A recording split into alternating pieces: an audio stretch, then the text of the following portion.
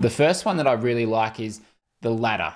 Now, if you imagine that there's a ladder on the bottom of the pool, every time you begin the catch, you finish the catch there, imagine that you're grabbing onto a ladder and pulling yourself forwards and then getting onto the next rung of the ladder with your opposite hand. So you're really moving yourself along that ladder that's on the bottom of the pool. The comparison there would be if there's no ladder, you imagine that you're trying to pull your arm or your hand back in the water. That's not what we want.